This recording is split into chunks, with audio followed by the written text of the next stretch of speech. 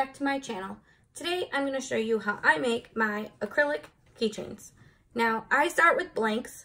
You can get them from a lot of different places. Today what I'm going to do is I'm going to use the Wisconsin State shaped blank that I have to make this super cute little home keychain. So what I'm going to go ahead and do is go through all of the tools and all the supplies you'll need to make this and then I will show you exactly what I do step by step. So let's get started. As you can see, I have a lot of different tools sitting here. You don't always need all of these, but this is how I make mine and the tools that I find essential to make them. So the first thing you're gonna start off with is your blank. Now this one has the brown paper protective cover on it. This is just to keep it from getting scratched during shipping or however you choose to ship it. I have a ton of these and they're all kind of together. So I always keep that on so they don't get scratched in case I don't want to cover it with glitter or vinyl. The next thing I use is the UV resin that I get from Amazon. There's a few different kinds. I've used a few different ones. I really don't have a preference on which one I like the best. So today we're going to be using this one. As always, I'll put the links for everything that I use here in my description of the video so you can go ahead and go find those. Something else you'll need that I, I like to use is a silicone mat of some sort. Now this is a silicone pot holder, which I actually got at Hobby Lobby for, I think $2 now that they're on sale. It's part of their spring stuff, so right now they're super cheap. You can get them from Walmart as well as from Amazon. You can use a flat silicone mat What's really nice about this is if you do get resin on it, if you cure it under your light or in the sunlight, it'll just pop right off because nothing really sticks to silicone. So it's a really easy way to prevent big messes with something that's going to stick to plastic or your desk forever or without being able to get it taken off with something sharp and potentially scratching. So really easy, really cheap to get to protect your surface when you're working with the resin. So aside from that, I have my keychain hardware. I use a variety of jump ring sizes, which you'll see why when I put the keychain together. I also have my keychain with the chain link attached. I also use a couple different things to sort of embellish my keychains. One is a tassel. These are about, mm, I would say, about an inch and a half. Yeah, about an inch and a half long hangs on one side. I usually pick a color that kind of matches or sometimes contrasts depending on what the keychain is. I also use these little pendants. I get these from Amazon. It's just a flat little disc. And what I do with this is I fill this with resin and put a matching glitter or again, a contrasting glitter, something that goes with the keychain well. Some of the other tools, just real quick, these are some jewelry pliers. You don't have to use jewelry pliers. You can use regular pliers. I like how small they are. Lots of help there. Of course, my squeegee for transferring my vinyl, my weeding ring for when I weed it. I use the Cricut True Control knife or any X-Acto knife to get the cover off of the blank. Easy to do it, to keep it flat against the surface and not scratch it. Weeding tool, and then a couple super, super helpful things that I'm always going to suggest that you use. Some of these silicone brushes are going to make your life super, super easy when you move around this resin on your blank. So again, it's a silicone tip, so your resin's not going to stick to it. It's super easy to clean off, and it, it really helps to get your resin really even on your blank. Another thing is, is this awesome ring tool that you can open your jump rings with. Now I get this from 651. It's super, super clever. You just grab a jump ring and stick it right there in that open spot and voila, just like that. And you can open your jump ring. I Before I got this, I was just using two pairs of pliers and most of the time I dropped it. So since I got this, I don't ever drop my jump rings, which is great because once they're on the floor, I usually can't find them. So with that being said, the last thing is you're going to need a UV lamp. Now I got this one off of Amazon for $9. It's a 36 watt amp. when I looked at the description of this particular resin, it said that you're going to want the 36 watt or higher. The higher you go, the quicker the resin is going to cure on your blank. If you don't want to buy the light and you live in a place where there's lots of sunshine, you can also cure your resin with the sunshine UV rays. So it takes a little longer when you do it that way versus using the light. And I found that sometimes it can make your resin look a little smoother and a little shinier. So there are times that I use it up here in Wisconsin. Lately, it hasn't been too bright, so I use my light a lot. And there are a lot of people who can use um, epoxy for the coating on the keychains, but I prefer to use the resin because if I want to get a keychain done and sent out in the same day, that's possible with this because it cures pretty quick within a matter of minutes and you can go ahead and get it packaged and sent in the same day. So those are all my tools. And what I'm going to do is I'm going to go ahead and get started and show you step by step how I get these keychains with glitter and resin from start to finish. And hopefully you enjoy and you will do it as well. So the first thing I'm going to do here is I'm going to decide which side is going to be the front. Now, some of them you can pick, like this pineapple. Doesn't really matter which side you make the front. Something like this kind of matters which side you make the front. Considering it's a certain shape, it needs to face a certain way. So this is going to be my front. That's where I'm going to put my decal. So I'm going to go ahead and keep that protective sheet on there and I'm going to flip it over and take the protective sheet off the back. When I make mine, I usually only put glitter and resin on the back side and just let it sparkle through on the front. Here, I've had one, which I can show you that I've done that. I put the glitter on the back and it sparkles through the front super nice because the acrylic is really clear and it leaves a really pretty sparkle without being too, too thick and weighing the keychain down. So I'm gonna go ahead and take this off. This is when I use my True Control knife or you can use whichever X-Acto knife you want. It's super easy to get right under that paper and peel it off. Sometimes, depending on where you order your blanks from, they might have a blue film, they might have a clear film, they might have a different color paper. It really doesn't make a difference. It's just to keep your blank protected. So I have that off and what I'm gonna do is I'm gonna put a thin layer of my UV resin right onto this blank. And that's how I'm gonna get my glitter to stick. So I'm gonna go ahead and put that on. You'll see exactly how I smooth it out and I usually go down kind of eye level with it so you can really see that you're not going to get any craters in that UV resin. If you do, it'll leave your glitter kind of funky and it might not turn out exactly how you want it. So I'm going to go ahead and do that and I will be right back.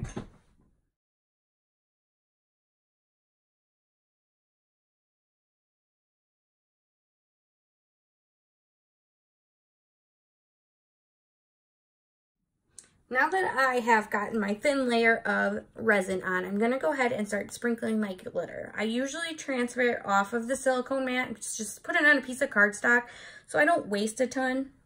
That way I can sprinkle it back into that jar and I'm not just throwing it away. If it gets in that silicone mat, it's pretty difficult to get off. You have to wash it. There's really no way of saving it, especially with this one and that honeycomb texture. It's pretty much a lost cause if you get glitter in it. Soap and water will wash it off, but it's pretty hard to save. So as you can see, I just sprinkle it even on the blank. Just try and get a nice even layer. And it's going to go right into that UV resin. And it's going to make it super sparkly. Before you put your final coat, it might look a little dull. Just kind of shake off the excess there. You want to be careful if you if you take this and you tip it to the side, that UV resin is going to drip off. So you want to try and keep it super flat. I just do a quick shake there so it comes off. If there's any extra that's sitting kind of on top of that resin, just to save it, doesn't get gloppy, it doesn't look crazy. So now that the glitter's on, I'm going to go ahead and stick this under my light, let it cure, and move my glitter, and move on to my next step. Something I like to do with the pendants here is I add some uh, resin inside it and then make the glitter match. So I'm going to go ahead and use this leftover glitter that I had and a new sheet of cardstock to make this pendant here. So all I do is just a quick little bit of resin in there. Let it kind of spread out a little. You don't want to put too much because you don't want to overflow it over the sides because you're going to put another coat on. So then I just go ahead and use this glitter that I saved from putting the glitter on the blank and just tap it down on there and get it on there. It adds a nice little sparkly touch to your keychain to make it look a little more finished than just having the keychain on the keyring. So just like your blank, once you have that done, be careful, try and keep it really flat and just stick it right under your light to cure. Okay, now that both of those pieces are done curing, I'm to go ahead and I'm to start on the other side. Now, I know they're done because they're not sticky anymore. It kind of is to depend on your light. Sometimes if you have a light that is a higher watt light than what I'm using, it's to cure a little faster. If you do it in sunlight, it might cure a little slower. But I'm to actually come back to this side and put a final coat on after I'm done with the front. So I'm going to go ahead and take the protective cover off of the front side so we can put our vinyl decal on. Now this side, because I'm not going to glitter, I'm going to make sure I'm really careful when I pull that off so I don't scratch the blank. So pull that off and you can see this is what you're going to see through. It's a pretty sparkly pink. It's kind of kind of see-through. I didn't want it super solid, but it's a really pretty corally color. It's kind of muted, not super bright. It'll look super cute on a keychain though. So what I'm gonna do is set this aside and weed out my decal that's gonna go on the front. So I'm gonna use my pin pen and my weeding ring, best weeding tools ever.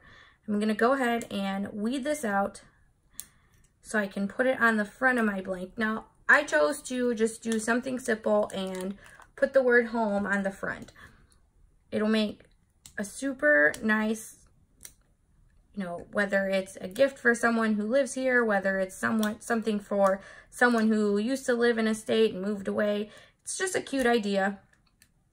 I currently live in Wisconsin, so I have a lot of these that people have wanted. So this one is actually going to go to a friend of mine who requested it. So now that that's done, I'm going to go ahead and grab my transfer tape here and stick that right on the front of our keychain. Now you can choose to do whichever you want. Most of the time when you get a acrylic blank from anywhere, it's going to come with an SVG file that is going to match that blank. Sometimes they're not the same size. Sometimes they are. This one, the current one that I'm using, it did come with one that was the exact same size. So all I did was uploaded that to Design Space, typed out the word using a font that I liked, and made sure that it was going to look right on this particular size blank. If you have one that doesn't match exactly, I simply take it and measure it from top to bottom or side to side, depending on if it's more wide than it is tall. Whichever I do, it's usually going to auto size correctly the other direction once you get it whichever way you're going to size it, whether you're doing top to bottom or side to side. So with this one, it matched up, so I went ahead and typed out the word home. I'm going to stick it just like this on this blank. Now I am going to cover this side with resin as well. You don't have to because the permanent vinyl is going to stay on there. I like to because it gives it a nice domed finish as well as a really glossy finish. That's just going to kind of make it pop a little more than just leaving it flat. So I have that on there. So what I'm going to go ahead and do is add the resin to this, let it cure, and we will come back and do the backside.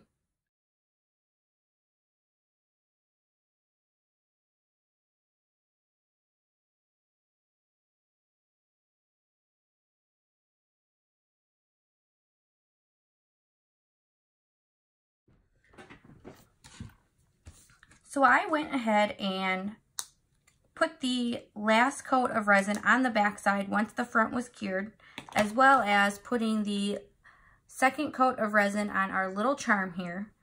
So now what we're gonna do is we're gonna go ahead and assemble our keychain. Now, with this ring ring tool, you can see that there are a few different size gaps. Bigger rings, smaller rings, pretty self-explanatory. So I'm gonna go ahead and show you how this works. So I mentioned in the beginning that you're gonna need a few different size jump rings. Now, the way you put them on is entirely up to you. I like to use two per item.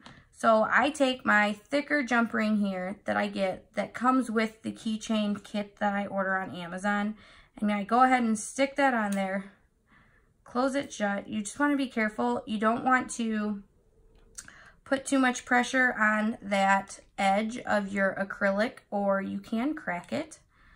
So I go ahead and put this, this bigger ring on, close it up, and then I like to move that seam where the jump ring meets to the inside so it's not it's not there on the outside for anything to slip through. So once that's on, I grab a smaller jump ring, feed it through there, and then attach my keychain hardware to that. Now, the jump rings are, are pretty easy to close, so I don't I don't use an extra set of pliers to close them. They're pretty easy. Um, you can if you have a hard time squeezing them shut. So that's going to add your keychain. So with my embellishments, I put a tassel on one side and a charm on the next, and I usually do a larger jump ring on the top attached to the key ring, and then a smaller jump ring on the actual charm or the tassel. So I go ahead and put that on there, bend it shut,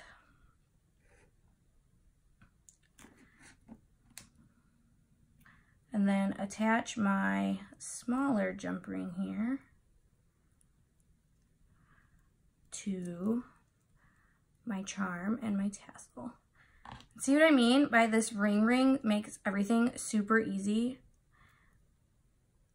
I do believe it runs at a size 7, so it might it might not fit on the same finger as mine. It might not fit all the way down your finger. If you can't get it, if you can even only get it like this, that's perfectly fine. All you need to do is have it on your finger so you can stick your jump ring right inside there and use that ring to bend these jump rings open. It makes life a whole lot easier for people ooh, like me who make keychains. That's something that typically happens when I use two pairs, pairs of pliers. These jump rings like to do exactly what they're called and jump. They make super, super tiny ones too that when they fall, you don't find them. Go ahead and add that. Now I picked a kind of a light teal colored tassel to go with my keychain here. Again, you could pick whatever colors you want. They don't have to match. They can contrast. They can be whatever it is you like. Sometimes I get charms from Hobby Lobby or Michaels as well to match. They do go on sale often and they make some super, super cute charms. So just like that, our keychain is finished. I like how the tassel and the charm give it a little something extra than it would be if you just had that. Obviously, you can just use that if you don't want the extra, but I like the kind of blinged out addition to the tassel and the charm. Now, if you don't want to use the UV resin, you don't have to. You can use permanent vinyl and just put it right on that blank and it's gonna stay there. You can use transparent glitter vinyl as well to get a glittered look without using the resin or loose glitter. There's a lot of possibilities you can do with these keychains. Like I said, I like to use the resin because I think it gives it a really glossy and domed kind of finish there to your keychain. And on your bottle of resin, it's it's to tell you how long to cure it for. It tells you how to use it. So this one in particular says UV curing exposure to UV light for two to four minutes. And if you do the sun curing, it's exposure to sunlight for five to 20. When I use it, I don't really set a timer. I don't really count or pay attention to how long it's under there. I just wait until it's not sticky to touch anymore. If it's sticky and you're still leaving fingerprints in it, then it's not cured enough to take it out from under your light or away from your sunlight.